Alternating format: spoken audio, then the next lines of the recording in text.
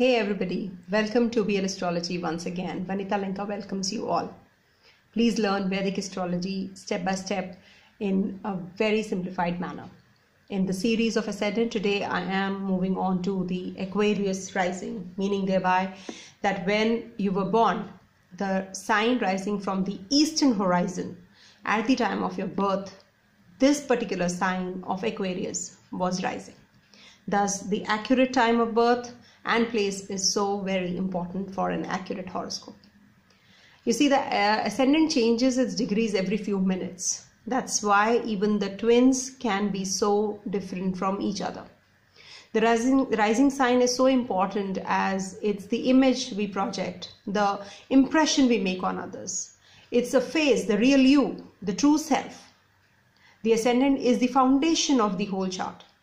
How the rest of the signs are set, what kind of family one will have, siblings, children, education, marriage, the whole life force energy, the profession, the spiritual growth, etc. etc.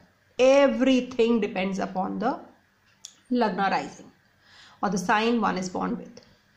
You see, the houses are fixed like that for children is the fifth house, marriage seventh, mother fourth, profession tenth. It's for everybody the same. But how will be the life force energy of a particular person only depends upon the rising sign. And today is the turn of the Aquarius rising, the futuristic, inventive, and the very practical Kumbh Lagna. It's not the sun sign or the moon sign, please take, take it all. It's the rising sign at the time of birth of a child at a given location. So, to start, um, uh, with uh, before we move on further let's know how the rest of the signs are placed in an aquarius uh, ascendant horoscope and as to how and what is the relationship of saturn the lord of aquarius with the rest of the sign lords through this piece of diagram that i'm presenting. So this is the aquarius rising chart. And this is um, the first house. Otherwise if you see it's the in the Kal Purush Kundli in the natural zodiac this is the 11th house 11th sign. So this becomes the first one. So it's like too much of desires this ascendant people have. Because it's the uh, and uh, obviously the social obligations the social circle everything depends upon the uh, house placement of this particular in the zodiac natural zodiac kalpurush kundli so coming to the second one, um, Jupiter. Jupiter is the lord of the second and the eleventh, the wealth giving houses. So this becomes a very important house for uh, important uh, planet for this particular rising sign. Then um, Mars plays also a very important role as it's the lord of the third as well as the tenth.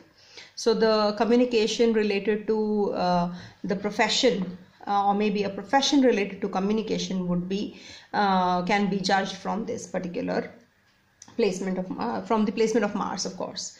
Then coming to Venus Venus is the lord of the Kendra and the trine that is uh, the angular and the trinal house the Kendra and the Trikona houses. So it becomes a yoga karak for this particular ascendant. So it's a lord of the fourth and the ninth simultaneously. So it is a very very important and a very benefic um, one for this ascendant. Then trinal houses of course mercury also is a friendly sign to saturn so this also becomes a very pious uh, one for this um, ascendant. So mercury as well as venus being uh, the gemini and libra uh, in the trine houses 5 and 9 then moon is the lord of the sixth so and sun is the lord of the seventh so these become a, um, not the um, uh, benefic ones for uh, Saturn um, being the owner of Aquarius. So this becomes uh, inimical ones. And um, this neutralizes a little bit of effect of Mercury being the lord of the eighth. So we'll see how it works. Uh, then uh, I've told you about then Saturn is the lord of the 12th also. Being the lord of the first, it becomes the lord of the 12th as well. So this is how the Aquarius rising would look like. So you can just keep in mind how a particular horoscope looks for a particular rising. Then comes the deciphering of the chart. That is the next step. So when we are doing this then only we will come to know how exactly is the placement of rest of the planets and the uh, signs are set. So why did one get now that is the main thing you know that why one got this uh, aquarius ascendant at the time of birth uh, as a rising sign you see, we have to see uh, when one has utilized the energy of the opposite, the descendant sign, in the previous life, then one desires to do what one uh, what one uh, could not do in the past life. That's how this works.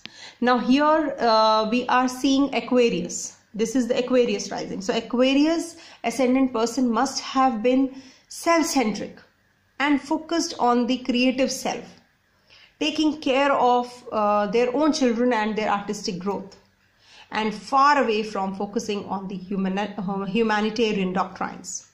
So, to compensate all that, all those desires, towards the end of their life, they wished all what they could not do to do this life. And that's the reason they were born as Aquarius rising. Saturn rules the first and the 12th house. First house in Aquarius imparts you uh, the originality of the character, unconventional thinking, and intelligent mind, and a highly, highly philosophical people. Your fashion sense uh, is original, individual, and very happy. You are impulsive, energetic, and friendly, always smiling. People are attached towards your unconventional beauty and charm. You want to want complete freedom and great deal of solitude you maintain your independence streak. You may seem to be less inclined towards home and uh, family than towards your social group because it's an Aquarius rising sign. You know, Aquarius is social group. So intellectual pursuits interest you and cater to humanity and as whole than the circle close home. You are future oriented and seem to be a bit rebel, who stick to his or her cause.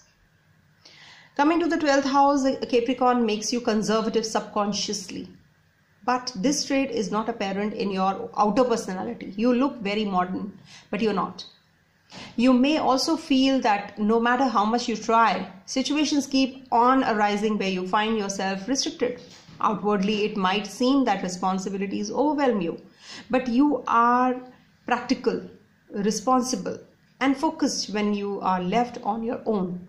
You may have constant feeling of inadequacy as if there is something missing in your life. You work really very hard on your spiritual growth. Coming to the second house and the 11th house owner Jupiter, the financial houses. Pisces as the second house makes you least bothered about your financial matters. You are naturally lucky in finances. You may come up with brilliant plan, plans of earning money, but you need to keep a tab on your finances and be cautious when dealing with money since there are tendencies to be swindled by others. You are very generous with your money and need to keep a close tab on your budget and expenditures. Try not to trust anyone with your money. You are idealistic in speech with a tendency to exaggerate. Second house is speech. Coming to the placement of the 11th house, uh, Sagittarius, that blesses you with good fortune and luck, especially in the terms of social associations. You have a wide range of friends and they are philosophical. You love discussions and flow of ideas. You usually get along well with people who enjoy your company. You have big dreams which you eventually uh, want them to come true. Mainly because of luck you will come to uh, get those dreams fulfilled also. Coming to the third house mars uh, owner being mars of the 10th house also where uh, saturn debilitates.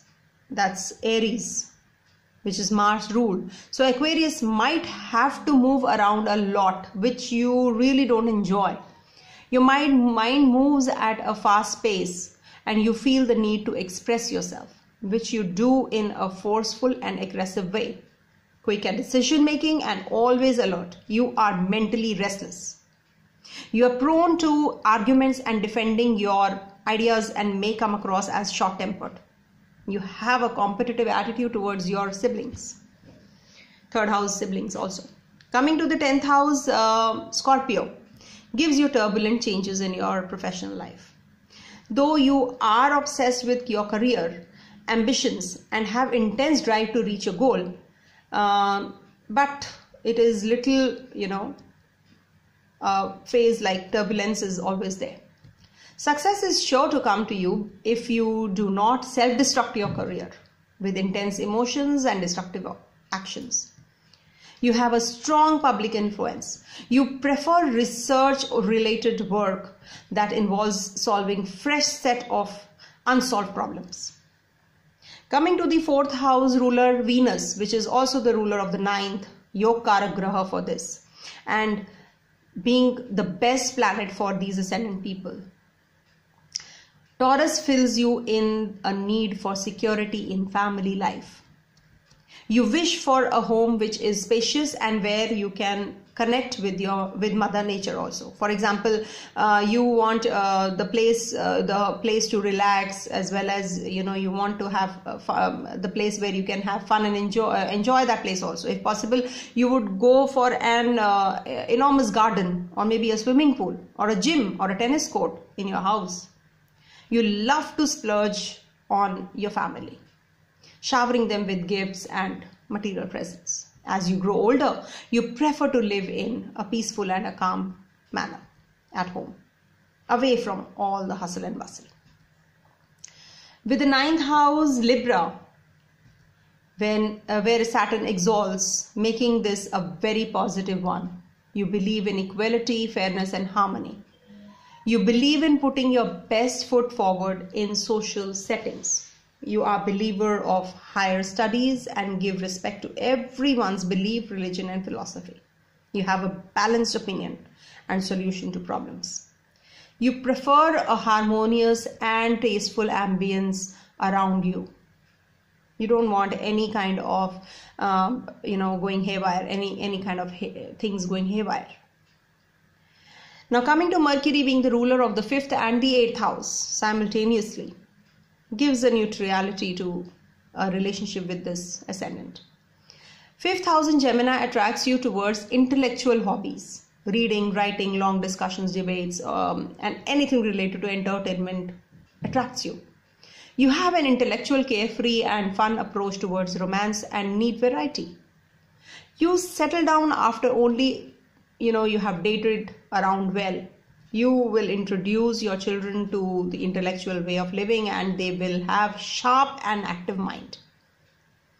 Eighth house in virgo that again ruled by mercury. Financial security and stability becomes very important to you especially in marriage. When it comes to joint finances and investment you are very cautious and to uh, you know do look into the matter uh, very carefully. You want to do complete research to understand the background you transform yourself in an orderly way, mainly because of your health. You do well in occupations that need attention to close details and investigations. Coming to the sixth uh, ruler being um, Moon, Cancer. You, uh, you care a lot for those who work under or with you. You are emotionally bound to your work. For you, personal matters and life take a back seat when it comes to work. To be physically and mentally fit, you need to be satisfied with your work environment. Stability and security of your work is very important to you. You are very concerned about the welfare of your subordinates. Now, Sun is the enemy of Saturn, as we all know. With the seventh house in Leo, you get a partner who is powerful and dominating there could be power struggles in the relationship because each wants the other to take the lead of their married life. If you have a strong self esteem